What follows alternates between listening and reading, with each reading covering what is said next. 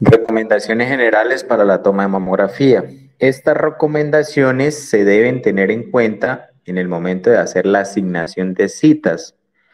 Es decir, son las indicaciones que se les dan a las pacientes y que se deben tener en cuenta en el antes, durante y después del examen. Bueno, una preparación básica, digamos que para eh, las pacientes que van a ir a una mamografía son las siguientes. Primero, este es un examen que no requiere ayuno, ¿cierto? Entonces, no, por ese lado, no hay ningún inconveniente.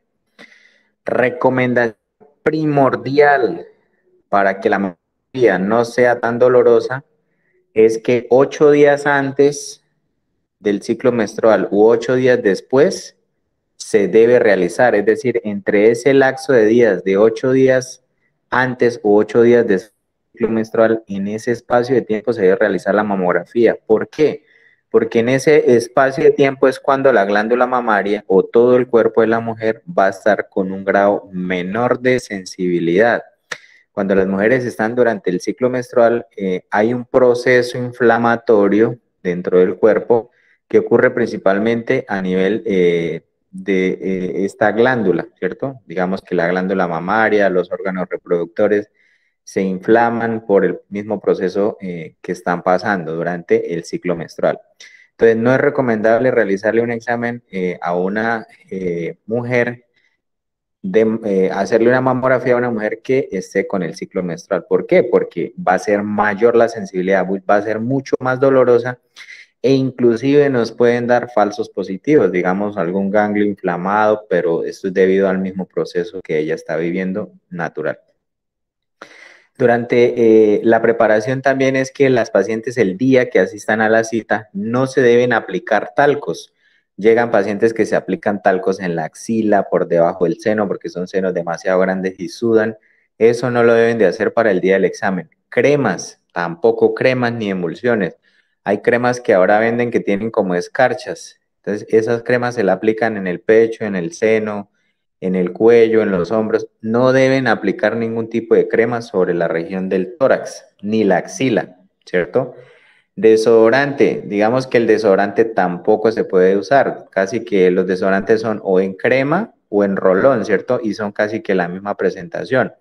Entonces, digamos que para ese día que vayan bien aseadas antes del examen, pero que no se apliquen ningún tipo de elementos de estos sobre el pecho y la axila. ¿Por qué? Porque esas partículas o el espesor de esos elementos, la viscosidad de esos elementos nos va, a crear falsas sombras, falsas imágenes que la paciente puede que no esté presentando. Nos pueden presentar hasta inclusive calcificaciones, microcalcificaciones. El talco presenta ese tipo de, de patologías y que son falsas patologías. Acuérdense de la clase que vimos en la parte de artificios. No traer el cabello mojado tampoco, en caso tal de que nos quede, la, eh, digamos que comprimido una parte del cabello, no se nos vaya a simular de pronto alguna patología.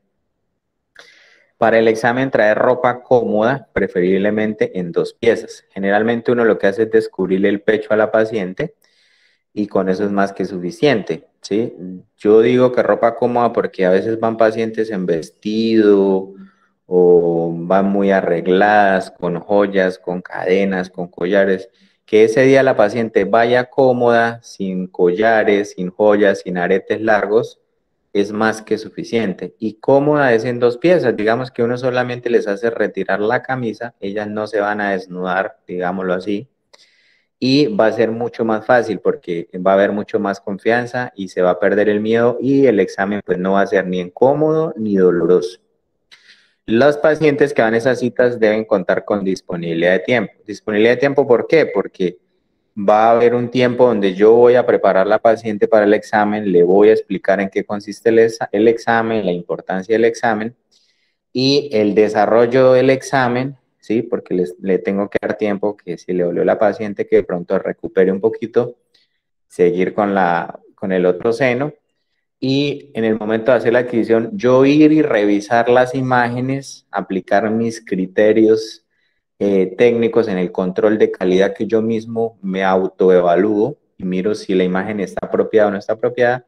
Y una vez yo crea que la imagen está apropiada, ahí sí ir hacia la paciente nuevamente y decirle que ya el estudio finalizó. Nosotros no podemos decirle a la paciente que se vaya del servicio sin haber revisado bien la imagen, si tengo que repetir alguna imagen o si las imágenes que yo adquirí están correctas.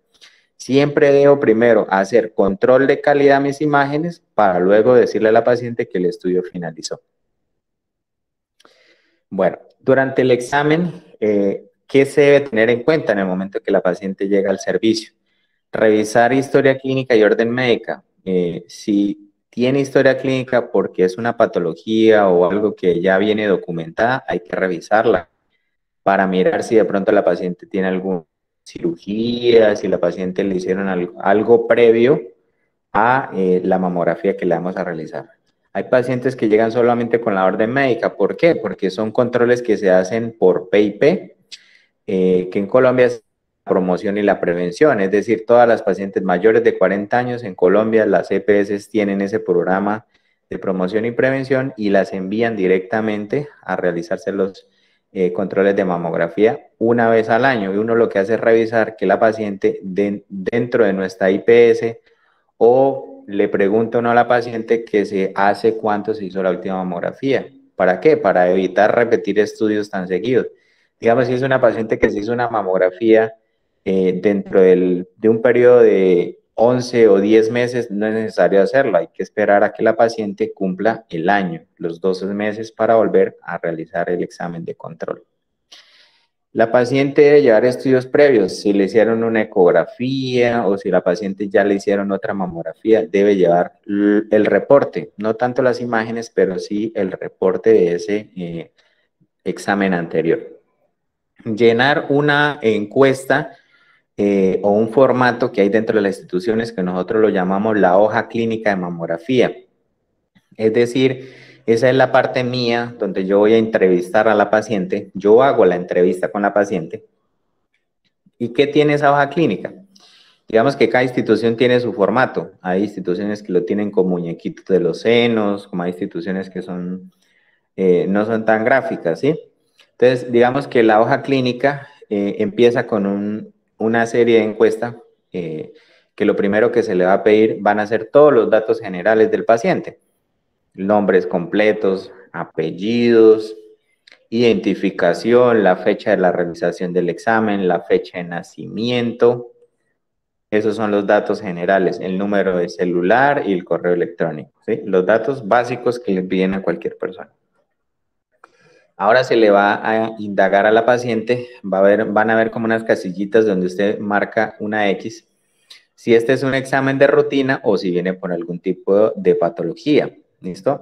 Si la paciente se encuentra en estado de embarazo, acuérdense que todas las veces que nosotros hagamos uso de radiaciones ionizantes, hay que hacer esta pregunta, si la paciente está en embarazo. Información general, ya hablamos de eso. También se le va a indagar o se le va a preguntar sobre antecedentes quirúrgicos. Antecedentes quirúrgicos no solamente es cáncer o extracción de una masa o de un quiste. Antecedentes quirúrgicos también hace referencia a si tienen prótesis mamarias, ¿cierto? Si se han colocado prótesis mamarias, si se han hecho alguna reducción de seno, también cuando son pacientes que tienen senos muy grandes y a veces se hacen reducciones de seno antecedentes familiares de cáncer. Entonces, cuando se le pregunta a la paciente antecedentes familiares de cáncer, eh, se pregunta primos, tíos, hermanos, abuelos y papás y abuelos, ¿sí? Más o menos esa es como la línea eh, de consanguinidad que se les pregunta, casi como de primer y segundo grado de consanguinidad. Entonces, si hay antecedentes, se marca si hay antecedentes y qué tipo de cáncer han padecido, no necesariamente de seno, cualquier tipo de cáncer. También se les va a preguntar la fecha de la última mamografía. Si se le hizo ya mamografía y ella cuenta con el, eh, el último reporte, debe traer ese último reporte de mamografía para hacerle un seguimiento y para nosotros tener una documentación en nuestra IPS. Fecha de la última menstruación siempre lo vamos a encontrar en los formatos como FUN. FUN significa eso, fecha de última menstruación. Esto también para tenerlo en cuenta, eh, si la paciente el día que se le tomó el examen de la mamografía está en el ciclo o no menstrual para mirar y evaluar eh, los procesos inflamatorios de algunos ganglios, ¿sí? Entonces digamos que algunos ganglios en el periodo menstrual pueden estar inflamados y casi que es algo normal, ¿sí? No es algo patológico. Y la sintomatología actual. Entonces a la paciente en esa encuesta también le preguntan, ¿a usted le duele algún seno? Y va a haber un gráfico donde dice seno derecho, seno izquierdo. Señale dónde y entonces tiene uno la opción de marcar con una X a qué lado del seno le duele o si solamente con una X se marca seno derecho y seno izquierdo. Dentro de esa misma sintomatología actual, hay otra opción que dice, usted se ha tocado, se ha palpado bultos o masas en los senos. ¿En cuál seno? Indique. Entonces hay otra opción que dice seno derecho, seno izquierdo.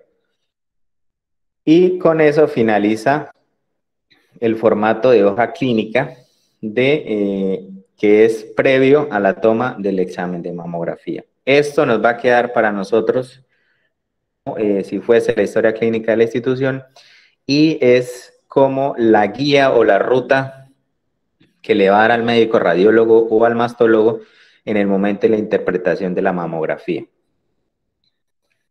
Bueno, ¿qué va a sentir durante el examen, la paciente. Entonces yo a la paciente ingresa y yo le voy a explicar, le voy a decir, buenos días o buenas tardes, ¿cómo está señora María?